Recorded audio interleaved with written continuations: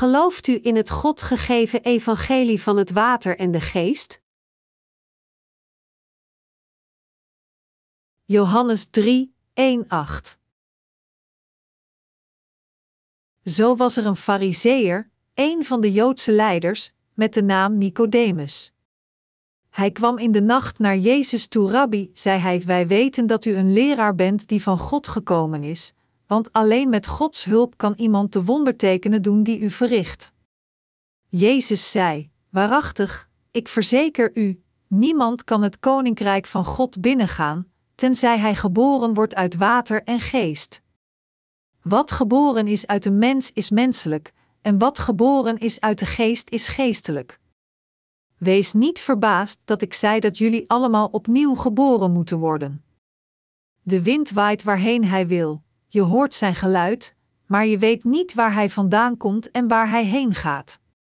Zo is het ook met iedereen die uit de geest geboren is. Nicodemus, een religieuze leider. Jezus spreekt duidelijk tegen Nicodemus in de geschrifte passage van vandaag: Alleen wie opnieuw wordt geboren, kan het koninkrijk van God zien. Toen Jezus dit zei, vroeg Nicodemus: Hoe kan iemand opnieuw geboren worden als hij al oud is? Hij kan toch niet voor de tweede keer de moederschoot ingaan en weer geboren worden? Jezus zei weer tegen Nicodemus: Waarachtig, ik verzeker u, niemand kan het koninkrijk van God binnengaan, tenzij hij geboren wordt uit water en geest. We moeten sterven voor onze zonde in ons geloof en wedergeboren worden door te geloven dat Jezus Christus, de Zoon van God, echt Gods rechtvaardigheid heeft vervuld door naar deze aarde te komen, door al de zonden van de wereld op zich te nemen door het doopsel dat hij ontving van Johannes de Doper, en hen af te betalen met zijn bloed aan het kruis. Dit is wedergeboren zijn. De Bijbel vertelt ons dat niemand het koninkrijk van God kan binnengaan tenzij hij wedergeboren is uit water en geest. Johannes 3, 5. De Heer zei tegen ons: Wat geboren is uit de mens is menselijke en wat geboren is uit de geest is geestelijk. Johannes 3, 6. Wat onze eigen natuur wil brengt de dood, maar wat de geest wil brengt leven en vrede. Romeinen 8, 6. Het vertelt ons dat ongeacht hoe vurig we in Jezus geloven met ons vlees, we niet wedergeboren kunnen worden door een dergelijk middel. De Heilige Geest kan niet verblijven in een hart dat nog steeds zonden heeft. Als God zijn spirituele test zou toepassen, dan zou die persoon voor die test falen. Wie leeft in deze wereld kan alleen worden wedergeboren door het geloof in het evangelie van het water en de geest. De Heer zei verder tegen Nicodemus: Wees niet verbaasd dat ik zei dat jullie allemaal opnieuw geboren moeten worden. De wind waait waarheen hij wil, je hoort zijn geluid, maar je weet niet waar hij vandaag komt en waar hij heen gaat. Zo is het ook met iedereen die uit de geest geboren is. Johannes 3, 7, 8. Dit woord vertelt ons dat we wedergeboren zijn en bevrijd van zonde door te geloven in het evangelie van het water en de geest. Een dergelijk geloof stelt ons in staat de wil van God te weten en staat ons toe wedergeboren te worden. De Heer zei: De wond waait waarheen hij wil, je hoort zijn geluid, maar je weet niet waar hij vandaan komt en waar hij heen gaat. Zo is het ook met iedereen die uit de geest geboren is, Johannes 3, 8. Echter, veel christenen die niet de weg weten om wedergeboren te worden, interpreteren deze passage verkeerd en zeggen: We weten niet wanneer we worden wedergeboren uit het water en de geest. Mensen worden wedergeboren niet wetende van zichzelf wanneer, omdat zij vurig in Jezus geloven, maar Jezus zei dat niet met een dergelijke bedoeling. Hij bedoelde hiermee: Nicodemus, u weet helemaal niets. U weet niet dat God u heeft bevrijd van al uw zonden door het evangelie van het water en de geest. Maar de gelovigen in het evangelische woord van het water en de geest weten precies hoe God hen van al hun zonden heeft bevrijd. Zij kunnen het koninkrijk van God zien en binnengaan door wedergeboren te worden met hun geloof in het evangelie van het water en de geest.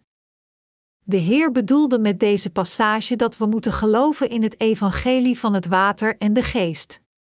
Hij wil ons informeren dat alleen als we geloven in het evangelie van het water en de geest we de vergeving van zonde ontvangen, en dat alleen diegenen die de vergeving van zonden hebben het geschenk van zaligmaking van God ontvangen en zijn kinderen worden. Is het niet zo dat alleen diegenen die de kinderen van God zijn geworden zijn koninkrijk kunnen binnengaan? Dus, de hele bevolking in deze grote wijde wereld moet wedergeboren worden door de kinderen van God te worden door te geloven in het evangelie van het water en de geest. Bovendien, diegenen die kinderen van God zijn geworden door hun geloof moeten het evangelie van het water en de geest over de hele wereld verspreiden volgens de wil van God. In de geschrifte passage van vandaag, vertelt de Heer ons duidelijk dat diegenen die wedergeboren zijn door het evangelie van het water en de geest zij het koninkrijk van God zullen binnengaan daar zij zijn kinderen zijn geworden, en zij zullen gezegend worden als Gods eigen mensen zelfs in deze wereld. Jezus vertelde duidelijk aan Nicodemus: U bent nog niet wedergeboren, omdat u nog niet het evangelie van het water en de geest kent. De Heer zei: Waarachtig, ik verzeker u, Niemand kan het koninkrijk van God binnengaan, tenzij hij geboren wordt uit water en geest. Johannes 3, 5. In deze passage kunnen we de waarheid van het binnengaan van de hemel door ons geloof begrijpen. Weet u waarom de Heer zei dat mensen het koninkrijk van God kunnen zien en binnengaan alleen als zij wedergeboren zijn door het evangelie van het water en de geest? Diegenen die geloven in het evangelie van het water en de geest zijn de gezegende heiligen die compleet gereinigd zijn van al hun zonden. Onze Heer zei dat geboren worden uit water en geest alleen mogelijk is als die persoon gelooft in het evangelie van het water en de geest. Waarom zei hij dan dat we wedergeboren zijn door het water en de geest, in plaats van te zeggen dat we wedergeboren zijn door het water en het bloed? Feitelijk, zijn deze twee uitdrukkingen hetzelfde. Door zijn keuze van woorden bedoelde hij dat God de Vader ons bevrijd heeft door al onze zonden uit te wissen door zijn enige zoon naar deze wereld te sturen. Gods wil was dat zijn zoon het doopsel zou ontvangen dat al de zonden van heel de mensheid aan zijn lichaam zou doorgeven, en hem voor al deze zonden liet betalen door dood te bloeden aan het kruis.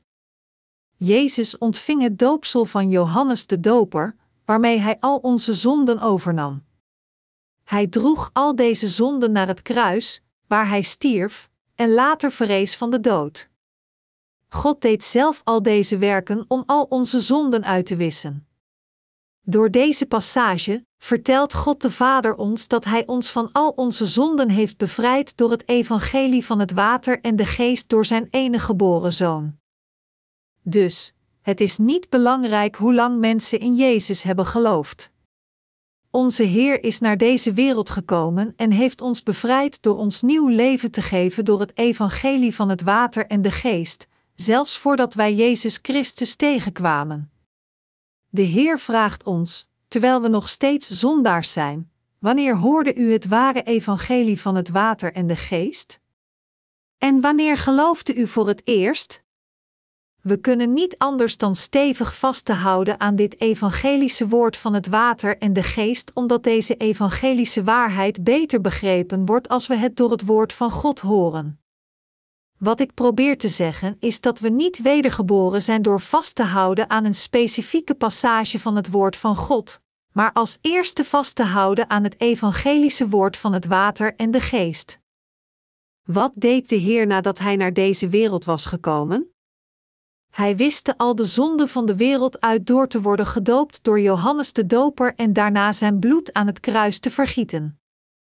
Hij bevrijdde ons van al de zonden van de wereld door de evangelische waarheid van het water en de geest.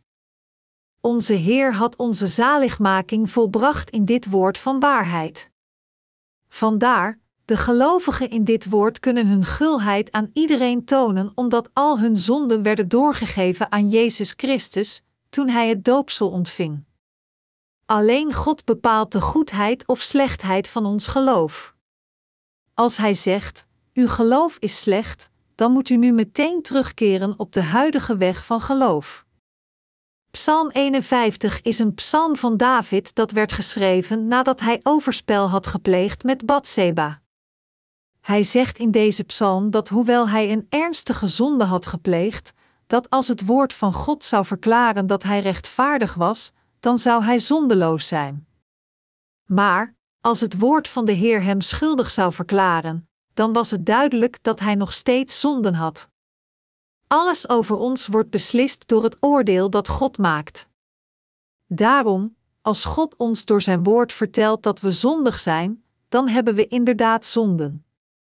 Als Hij ons vertelt dat we onschuldig zijn, dan zijn we inderdaad zonder zonden. Dus, diegenen die geloven dat God u en mij heeft bevrijd van al onze zonden, zijn mensen geworden vrij van zonden. Jezus heeft ons van al onze zonden bevrijd door naar deze wereld te komen en het doopsel te ontvangen, te sterven aan het kruis en van de dood te verrijzen. Als ons verteld wordt dat we bevrijd werden van al onze zonden op een dergelijke manier, dan moeten we dit geloven. En we moeten de ware belijdenis van ons geloof in het evangelie van het water en de geest hebben. Om vrij te zijn van onze zonden, moeten we eenmaal sterven in het evangelie van het water en de geest. En om onze rechtvaardigheid te claimen, hebben we onze eigen verrijzenis ervaren door ons geloof in het evangelie van waarheid. U en ik zijn wedergeboren door te geloven in het evangelie van het water en de geest. Daarom, als we niet echt het geloof bezitten in het evangelische woord van het water en de geest, dan zijn we nog niet wedergeboren. Het maakt niet uit hoeveel Bijbelpassages u en ik hebben gelezen of geloven. Het maakt niet uit welke positie u momenteel in de kerk heeft. En het maakt niet uit hoeveel werk we voor onze Heer hebben gedaan. Het enig middel waarmee God ons wedergeboren heeft gemaakt is de evangelische waarheid van het water en de geest. We hebben de vergeving van zonde ontvangen en zijn wedergeboren als de kinderen van God alleen door ons geloof in het evangelie van het water en de geest. Ongeacht of het vroeg of laat kwam, diegenen die wedergeboren zijn door het water en de geest zijn de kinderen van God, die een grote beloning voor God zullen ontvangen. Maar, als we luisteren naar de getuigenissen van sommige mensen over hun zaligmaking, zeggen zij: Jezus, ik geef glorie aan God dat u mij van al mijn zonden heeft bevrijd door te sterven aan het kruis. Deze mensen hebben niet echt al hun zonden aan Jezus doorgegeven. Het is zeer moeilijk het evangelie met dergelijke mensen te delen. En zij delen een ander evangelie dan het evangelie van het water en de geest. Het zou een foutief geloof zijn te beweren dat het ene evangelie net zo correct is als het andere, als we duidelijk de vergeving van zonden hebben ontvangen door te geloven in het evangelie van het water en de geest. Als ons geloof de enige en ware weg is naar onze zaligmaking voor God, dan is er geen ander geloof dan dat van het evangelie van het water en de geest. Alleen het evangelie van het water en de geest is het ware evangelie. Ieder ander evangelie, ondanks dat het zeer lijkt op het ware evangelie van het water en de geest, kan niet het ware evangelie zijn. Er is een ander fenomeen dat we vinden onder de christenen: diegenen die nog niet zijn wedergeboren haten diegenen die zijn wedergeboren. Deze mensen claimen een gelijkaardig maar ander evangelie dan het evangelie van het water en de geest, toen zij voor het eerst gingen geloven in Jezus. We moeten onze Heer benaderen met het geloof in het evangelie van het water en de geest. De Bijbelpassage wat zegt: U hebt mijn zonde weggedaan, is de belijdenis van koning Hitkia die geloofde in het evangelie van het water en de geest, Jesaja 38, 17. Zelfs toen Jezus aan het kruis zei: Het is volbracht, verklaarde hij dat hij de waarheid in het evangelie van het water en de geest had volbracht. Johannes 19 uur 30. Waar dat alles vergeven is, daar is geen offer voor de zonde meer nodig. Hebreeën 10 uur 18. Daar is het lam van God, dat de zonde van de wereld wegneemt. Johannes 1 uur 29. Laat het nu maar gebeuren. want het is goed dat we op deze manier Gods gerechtigheid vervullen. Matthäus 3 uur 15. Al deze woorden krijgen een volledig effect als we geloven dat al onze zonden werden doorgegeven aan Jezus toen hij het doopsel ontving van Johannes de Doper. Omdat Jezus al de zonden van de wereld op zich nam toen hij het doopsel van Johannes de Doper ontving, werden ook al mijn zonden aan hem doorgegeven. Omdat ik dat geloof, heb ik de vergeving van zonde ontvangen. Bovendien droeg Jezus al de zonden van de wereld naar het kruis, waar hij heel het oordeel voor al die zonden ontving en plaatsvervangend stierf voor mij. Dat geloof ik. En Jezus verrees van de dood. Wij geloven dat Jezus Christus onze eeuwige Verlosser is geworden door van de dood te verrijzen. We zullen alleen gespaard worden van de verwerping van God als we de concrete antwoorden van ons geloof in de tegenwoordige tijd geven. Diegenen die zijn wedergeboren door het evangelie van het water en de geest praten altijd over deze evangelische waarheid. Als een persoon het nauwkeurige geloof in het evangelische woord van het water en de geest zijn hart heeft, kan hij zijn geloof op ieder moment en in elke omstandigheid beleiden. Echter, als een persoon niet met zijn hart gelooft in het evangelische woord van het water en de geest, ondanks dat hij het kent in zijn hoofd, dan is hij niet in staat over de ware zaligmaking te getuigen. Maar, zolang als iemand gelooft in het evangelie van het water en de geest, kan zelfs een oude grootmoeder zeggen als zij het getuigenis over haar zaligmaking geeft: Ik heb geen zonden, omdat al mijn zonden compleet werden doorgegeven aan Jezus toen hij het doopsel van Johannes de Doper ontving. Jezus heeft mij van al mijn zonden bevrijd toen hij al mijn zonden naar het kruis droeg, stierf en weer van de dood verrees. Dus ben ik wedergeboren. We hebben ooit eens gehad dat veel grootmoeders zich inschreven voor onze evangelische les tijdens een retraite. Toen ik hen vroeg hun getuigenissen te geven over hun zaligmaking na het ontvangen van de vergeving van zonde door hun geloof in het evangelie van het water en de geest, zei een oudere dame: Johannes de Doper gaf al mijn zonden veilig door aan Jezus. Dus bloedde hij aan het kruis. En ik ben wedergeboren omdat ik dit geloof. De hele congregatie applaudisseerde luid na het horen van het getuigenis. Een andere oudere dame kwam naar voren om haar getuigenis te geven. Ze zei: Ik heb geen zonden omdat Johannes de Doper veilig al mijn zonden aan Jezus doorgaf. Ongeveer tien oudere dames gaven hun getuigenissen, maar het duurde niet langer dan een half uur. Ze hadden langer nodig om de trappen van de kansel op en af te lopen en terug te keren naar hun plaats. De feitelijke presentatie van hun getuigenissen duurde niet langer dan 30 seconden per keer. Dit kwam omdat de getuigenissen van de dames over hun zaligmaking als van één en dezelfde persoon kwam. Deze oudere dames die het correcte geloof hadden voor God en de vergeving van zonden hadden ontvangen, waren op dat moment wedergeboren door het water en de geest. Wij hebben hun geholpen om wedergeboren te worden door het evangelie van het water en de geest met hen te delen. We zijn wedergeboren alleen door het geloof in het evangelie van het water en de geest. Is er iemand die wedergeboren kan worden voor God door zijn eigen daden? Kunnen we wedergeboren worden door in de bergen te bidden?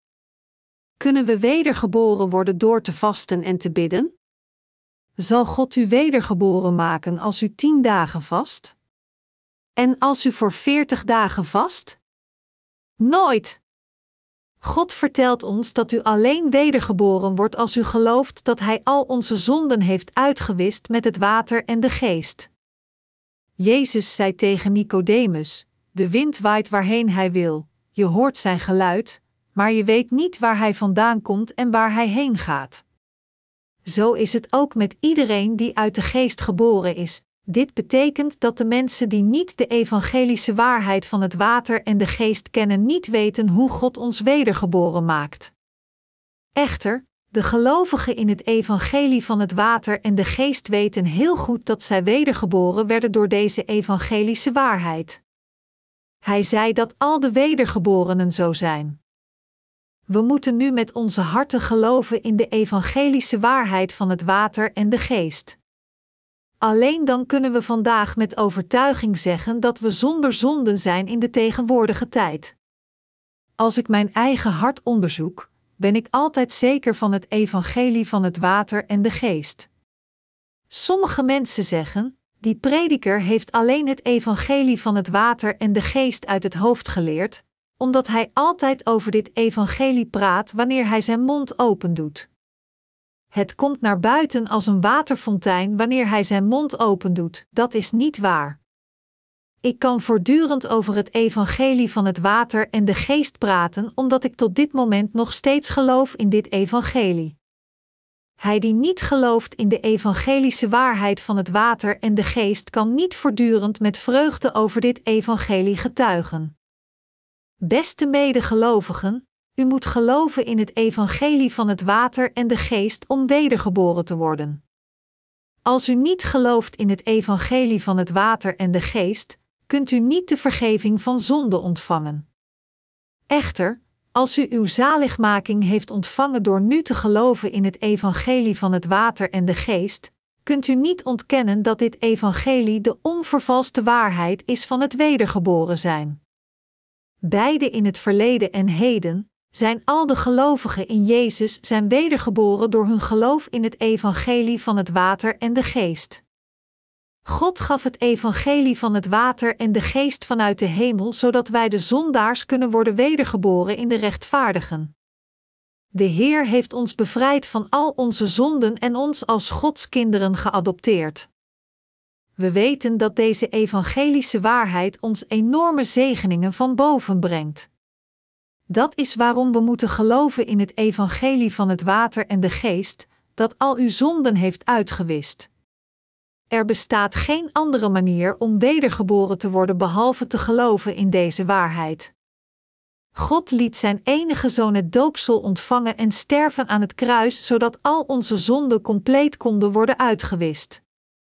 Ongeacht wie we zijn, we moeten alleen geloven in het evangelie van het water en de geest. We kunnen niet tot later wachten om te geloven in deze evangelische waarheid, maar we moeten er nu meteen in geloven. We moeten nu met geloof vasthouden aan het evangelie van het water en de geest. Denkt u dat we niet hoeven te praten over het evangelie van het water en de geest hoewel we het niet kennen? Nee. Het moet nu vermeld worden. Het moet nu in de tegenwoordige tijd besproken worden. Geloven in het evangelie van het water en de geest moet altijd plaatsvinden in het heden en kan niet wachten tot morgen. Het is een taak voor ons om nu meteen te doen. Als u en ik niet geloofd hadden in het evangelie van het water en de geest, dan zou het voor ons onmogelijk zijn geweest de vergeving van zonde te ontvangen, ongeacht in hoeveel Bijbelpassages we geloven. Toen Nicodemus Jezus vroeg: Hoe kan een mens opnieuw geboren worden? Antwoordde Jezus: Men wordt opnieuw geboren door het water en de geest. De waarheid dat een persoon wedergeboren maakt is niets anders dan het evangelie van het water en de geest. Echter, de meeste christenen denken en geloven in hun manier over het wedergeboren zijn, ondanks het lezen van deze geschrifte passages. Sommige mensen zeggen zelfs dat het water niet verwijst naar het doopsel dat Jezus ontving. Zij interpreteren het water als vruchtwater zeggend: een baby wordt geboren uit zijn moeder met het vruchtwater. Hoe interpreteren zij dan het water in 1 Johannes 5, 6, 8? Ik hoop dat u zich herinnert dat Johannes in 3, 6 zegt: Wat geboren is uit een mens is menselijk, en wat geboren is uit de geest is geestelijk. Het water in Johannes 3, 5 verwijst naar het doopsel dat Jezus ontving, en het bloed aan het kruis betekent het oordeel van al onze zonden. Het evangelie van het water en de geest is het geschenk van de vergeving van zonde door God aan de mensheid. Deze waarheid is de sleutel naar de hemel. De meeste christenen van tegenwoordig weten niet wat het evangelie van het water en de geest is. Zij zeggen dat gelovigen opeens op een dag wedergeboren worden zonder dat besef en niet door het woord van het water en de geest. Zij interpreteren Johannes 3, 8 als zodanig. Zij zeggen dat mens plotseling op ieder moment wedergeboren kan worden, terwijl men bidt, eet, droomt of zelfs werkt. Zij zeggen dat mensen plotseling bij toeval worden wedergeboren zonder hun eigen erkenning, zolang als zij in Jezus geloven. Hoe onwetend zijn zij om zoiets te zeggen? Dit is waarom er zoveel gelovigen in Jezus zijn, maar zo weinig mensen zijn wedergeboren. Zoals de geschriften zeggen: velen zijn geroepen, maar slechts weinigen uitverkoren. Matthäus 22 uur 14. Er zijn veel mensen die nog niet zijn wedergeboren, ondanks dat zij geloven in Jezus. Kortom, de meeste christenen geloven fatalistisch in Jezus. Zij geloven dat als God hen toestaat wedergeboren te worden, dat zij wedergeboren worden als de uitverkorenen, maar als Hij hen niet toestaat wedergeboren te worden, dan zullen zij de eeuwige veroordeling ontvangen zelfs nadat zij hun hele leven in Jezus hebben geloofd. De gewone christenen geloven fatalistisch. Echter, de Bijbel leert ons dat God onze zaligmaking heeft volbracht met Jezus, doopsel en zijn bloedvergieten aan het kruis, dat we moeten geloven in het evangelie van het water en de geest om wedergeboren te worden, en dat te geloven in dit evangelie of niet afhangt van de eigen wil van ieder persoon. Ik geloof dat onze Heer ons heeft toegestaan wedergeboren te worden van al onze zonden door het evangelie van het water en de geest. Dus zijn we wedergeboren geworden bevrijd van al onze zonden. Wij geloven in het evangelie van het water en de geest. Dus, we zijn vrijgemaakt van al onze zonden. Beste medegelovigen, gelooft u dit? Ja, natuurlijk gelooft u dit. U moet niet vasthouden aan het religieuze geloof van de hoofdstroming in het christendom dat alleen gelooft in het bloed van het kruis, dat verschil van het evangelie van het water en de geest. We kunnen alleen worden wedergeboren door ons geloof in het evangelische woord van het water en de geest. Heb ik gelijk of niet? Beste medegelovigen, al onze zonden werden doorgegeven aan Jezus toen hij gedoopt werd door Johannes de Doper, zodat zijn bloed aan het kruis ons compleet kon bevrijden van al onze zonden. We hebben de Heilige Geest ontvangen door het evangelische woord van het water en de geest, zijn de kinderen van God geworden en zondeloos gemaakt in onze harten. Diegenen die geloven in het evangelie van het water en de geest zijn nu zonder zonden. Beste medegelovigen in het evangelie van het water en de geest, hebt u zonde in uw harten? Er zitten absoluut geen zonden in u. Hoe is het mogelijk dat u geen zonden hebt? Het is mogelijk omdat u gelooft in het evangelie van het water en de geest waarvan God zegt dat al onze zonden werden uitgewist door Jezus doopsel en zijn bloed. Wat is de basis waardoor we in staat zijn de werken van God te doen? Wij zijn in staat de werken van God te doen door te geloven in het evangelie van het water en de geest. Hoe zijn wij de werkers van het evangelie geworden? Hoe zijn wij in staat deel te nemen aan de eerste verrijzenis en het duizendjarig koninkrijk? Hoe kunnen we naar het koninkrijk van de hemel gaan? Dit alles is mogelijk door te geloven in het evangelie van het water en de geest. De sleutel tot al deze hemelse deuren is het evangelie van het water en de geest. Hij die niet door de deur komt is als een dief of een rover. Welke rechtvaardigheid of goede daden kunnen wij mogelijkerwijs in ons hebben? Welke rechtvaardigheid kunnen wij in ons hebben? Wij zijn wedergeboren door ons geloof in het evangelie van het water en de geest, omdat God ons het woord heeft gegeven om ons wedergeboren te maken vanuit de hemel en stuurde zijn zoon Jezus om de werken te doen, die ons in staat stellen wedergeboren te worden. Hoe zouden we anders wedergeboren kunnen worden? Zou het mogelijk zijn vanuit het vlees zoals op de manier die Nicodemus vroeg: hoe kan een oude man terugkeren in de schoot van zijn moeder? Hoe kunnen we erkend worden voor God als de rechtvaardige en zeggen dat we zonder zonde zijn? Hoe kunnen we de moed vinden om te zeggen dat we geen zonden hebben? Het zal nooit mogelijk zijn voor ons om zondeloos te worden vanuit een menselijk perspectief.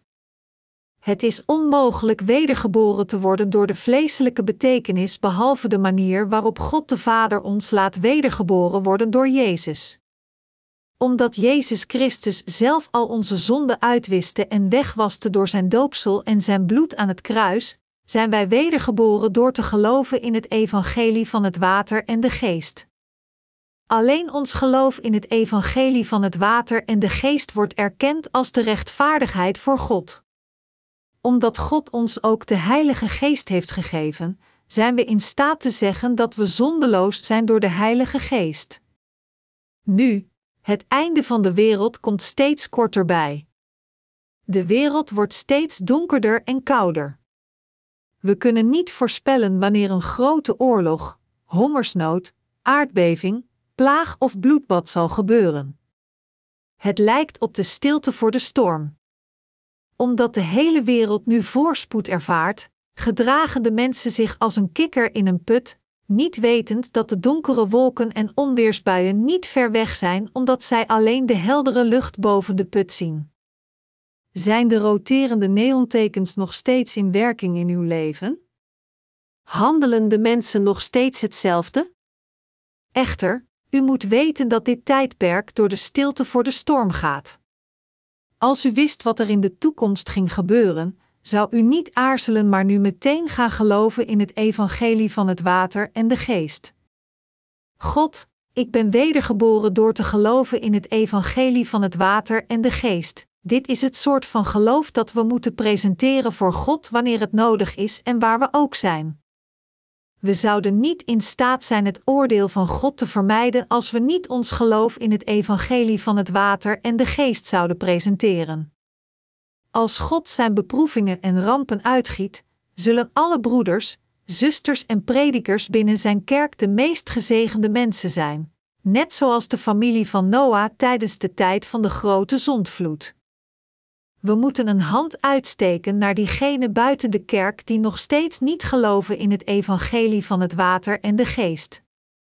Diegenen die niet geloven in het evangelie van het water en de geest moeten beseffen dat dit evangelie de enige waarheid is dat hen wedergeboren maakt.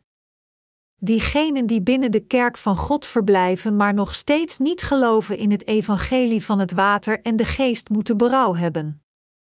De carrière of bekwaamheden van diegenen die niet geloven in het evangelie van het water en de geest zijn van geen nut voor God. Wat belangrijk is, is hun huidige geloof. Hoewel zij in het verleden goede geestelijke levens hebben gehad, als zij nu niet geloven in het evangelie van het water en de geest, zijn zij niets. Beste medegelovigen, bevrijdt de roemrijke carrière in het vlees u van al uw zonden? Het zou fijn zijn als u wedergeboren kon worden door vleeselijke middelen, maar er is geen manier om wedergeboren te worden door dergelijke middelen. Alleen het evangelie van het water en de geest kan een nieuw leven aan u en mij geven en ons van al onze zonden bevrijden.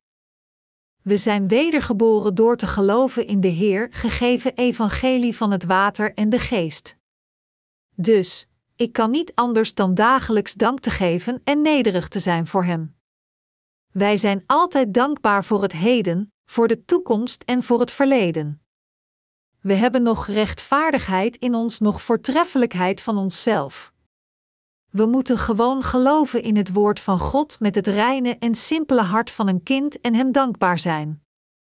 Het is voldoende voor ons onze Heer te dienen en te volgen en anderen te leren en te leiden naar de kerk van God in onze geestelijke levens met het geloof in het evangelie van het water en de geest. Ongeacht hoe lang we geloven, we moeten naar God bidden dat we tot het einde ons geloof houden. Als u gelooft in het evangelie van het water en de geest, moet u hiervoor dankbaar zijn.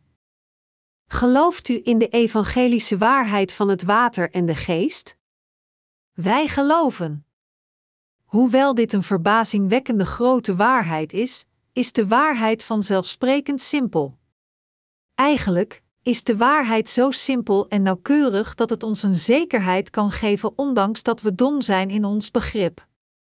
Van de andere kant, hoewel de mens gemaakte doctrines van de wereldlijke religies aannemelijk lijken, worden zij gecompliceerder hoe meer we proberen hen te begrijpen. Er is bijvoorbeeld een boeddhistische doctrine genaamd de zielsverhuizing. Diegenen die geloven in de boeddhistische doctrine van zielsverhuizing zeggen: mensen die goede dingen hebben gedaan, zullen wedergeboren worden in hun volgende levens in rijke families. Mensen die veel slechte dingen hebben gedaan, zullen in hun volgende levens wedergeboren worden als een van de lagere dieren. Als een dier zich netjes gedraagt, zal het terugkeren in zijn volgend leven als een mens.